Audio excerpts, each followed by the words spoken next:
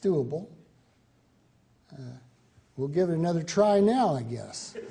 Uh, because lately, I'm sorry to say, economic policy has not been much more intelligent than it was back in the early 1930s.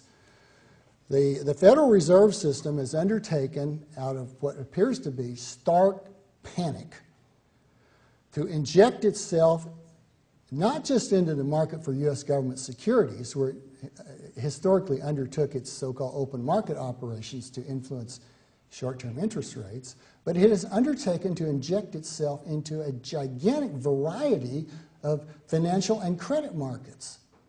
It'll go out and buy securities uh, from uh, commercial paper dealers, from, from securities dealers, from people that make student loans. Oh, I should let them off on that, I guess. Uh, uh, car loans, uh, loans to buy guns and ammo. I think that was a slip up, actually, but, but it happened. so you know, the Fed has undertaken these huge number of, of programs. I, mean, I, don't even know how many they've done. I've, I've been looking for compilations for months, so I get a kind of encyclopedic collection of what the Fed has done. I keep finding new ones that I didn't know about before. I mean, they're everywhere. They're everywhere. So the Fed used to own these multi billions of dollars worth of U.S. government securities. That was the asset side of its portfolio, so called. Uh, now they've given away or sold most of those U.S. government securities, and instead they've purchased to replace them and add enormously to them in nominal value all these junk bonds of various sorts crappy securities, toxic things. Ooh, don't touch those, those, those securities. They're poison. That's another odd metaphor, isn't it? Toxic securities. I can understand if a security is worthless. yeah, that's how we normally think about securities. What price will they fetch? But toxic? My goodness, that sounds horrible. Uh, one of the things I enjoy in my spare time is metaphors. So I spend a lot of time looking at political lingo and economic policy making lingo because it's all used to engage the emotions and to distort people's thinking about uh, substantive matters. And uh, you can learn a lot from looking at the terms people choose to express themselves in this area. But the Fed, is a, as a result of acquiring all these junk securities, it's, it's built up bank reserves to a level more than twice as great as they were last August, August of 2008. It did that in five months' time. Between August 2008 and January of 2009, the Fed more than doubled the monetary base of the United States. Okay?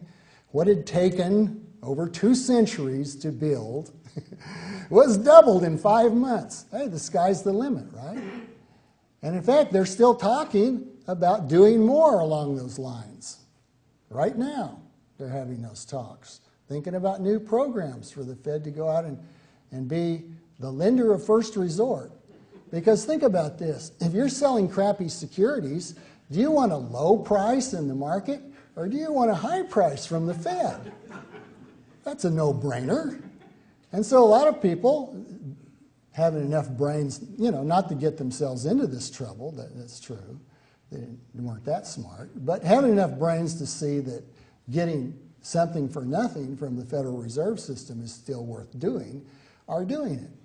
And, and uh, these so called toxic securities, which the government says are, are, are clogging up the markets because nobody knows their value. Well, how would anybody find out their value? If everybody has a perfect incentive to sit waiting for the government to buy them for vastly more than they're actually worth. They got that much of an, an idea of what they're worth. okay? You tell me all those MIT uh, PhDs can't figure out what these derivatives are worth? Nonsense. They told us all about these securities before. They're the ones that built all these derivatives, credit default swaps, and the rest of us. And they, they built them in such a way that they could not fail. Well, they just forgot one or two things, I guess. But Anyhow, these are bright guys. They could figure out how much to bid for securities. But they're not doing it because everybody's waiting to be bailed out for the government. And the government has proven that it stands ready to bail out anybody and everybody with a lobbyist. With a lobbyist. One of the, one of the bright spots I've read about in the recent economy is uh, upscale hotels in Washington, D.C. You know, those places the lobbyists occupy. They've been doing grand in the last six months. Okay? Hard to get in there. It's cheek by jowl with those, those guys. So we've got a lot of nonsense floating around and a lot of bad policy being done in response.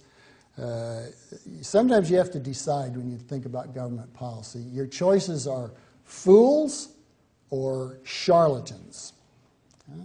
And I'm, I'm often drawn actually to the idea that it's both. That, that you don't really have to choose. That yes, the people who make these policies are charlatans. Uh, I don't think it's total coincidence that Goldman Sachs has come out of this mess smelling like a rose. Call me a suspicious guy. I don't think that's a total accident. I think charlatanism is alive and well in our, in our policy making. Uh, but at the same time, I think they're fools also. Even if they weren't charlatans, I think they'd screw up. Because how can they know?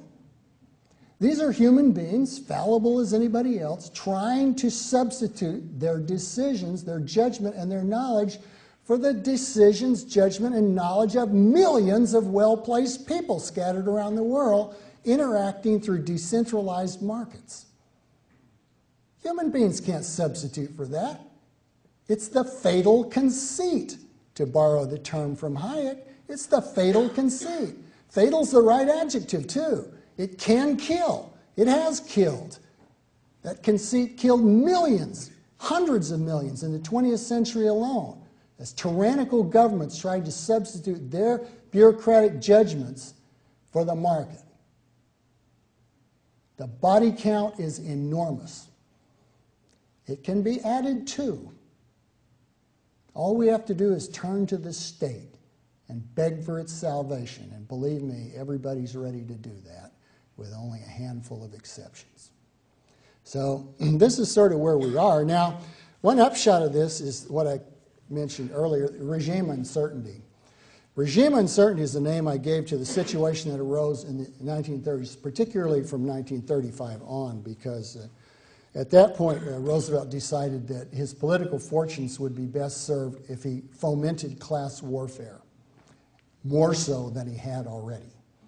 So he, under the influence of, of advisors like, like Tom Corcoran and Ben Cohen and James Landis and other people, he began to, to, to, to threaten to demagogue, to, to uh, invite, as he put it, the hatred of the princes of property, the economic royalists, his terms, not mine. Okay? He attacked the entire investor class. Now, was that a smooth move? Politically, yes. In 1936, after he had done this for a year and a half or so, he was reelected by a gigantic margin. The opponent won only two states in the Electoral College, and they were little ones. Okay? So, yeah, astute politics, but what, what was the economic consequence of stirring up this kind of uncertainty about where the world was headed with regard to private property rights? The consequence was that practically no long term investment was made for the whole 10 years of the Great Depression and more. If you're going to make an investment, it better have a short term payoff. Otherwise, you might find yourself caught when the country goes full out fascist or socialist. Because the way Roosevelt was talking, it might not be very long before you got there. And there are a lot of different ways, I've produced some of them in my research, to show that, that this was serious. This wasn't just talk on the part of the plutocrats. Historians tend to dismiss this and say, oh, these Republican plutocrats. What do you think they'd say? But look at where they put their money. Okay? That tells you a lot. And if you look at that, what you see is they were very frightened, extremely frightened. And their fright didn't really get over until the war came along and turned the economy into a centrally controlled war state for, for five years.